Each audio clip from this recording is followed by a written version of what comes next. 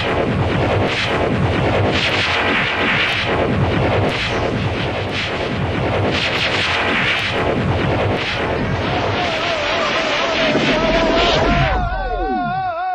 shooting, Tex.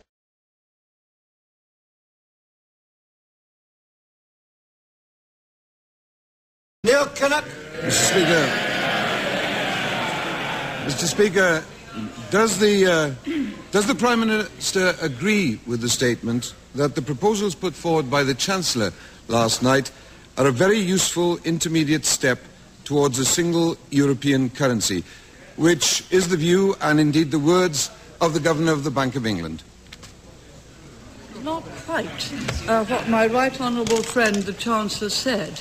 I thought it was.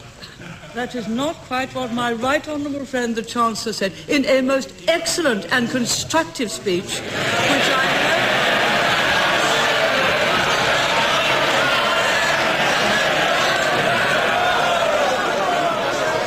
Order, order, order, order. Prime Minister. which which has which has been very widely welcomed as both building on the present position, going forward in an evolutionary way, and bearing in mind that many other countries may wish to join the community, not making it more difficult to do so. It does not mean that we approve of a single European currency. It says specifically that we do not.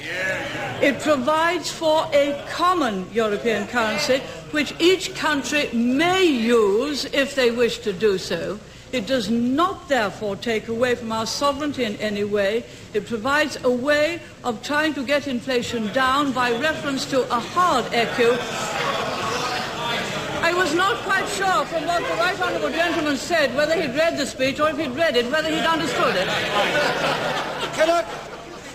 Mr. Speaker, by all means I read the speech. I wonder if the Chancellor explained to the Right Honourable Lady that if the idea that he put forward were to be accepted with uh, the European Monetary Fund and the hard ECU, that it would be the final surrender of monetary sovereignty by Britain as sterling moved into the hard ECU. Does she take that into account in the view that she expresses about what the Chancellor said?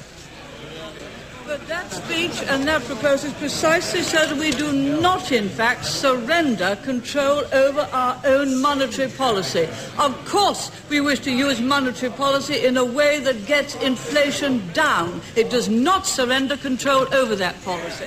I'm grateful to the Right Honourable Lady, and these are important matters.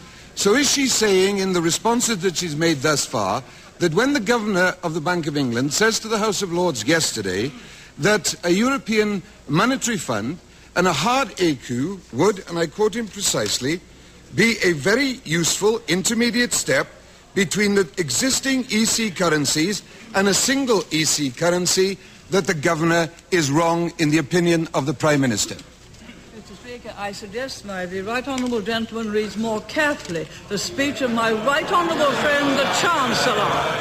Right honourable friend the Chancellor, which is proposing building on the existing ECU, of which uh, the city has in fact already issued securities denominated in ECU, building on the existing ECU to have a hard ECU, which could become a common European currency, available for countries to use if they so chose. It retains the choice, it retains sterling.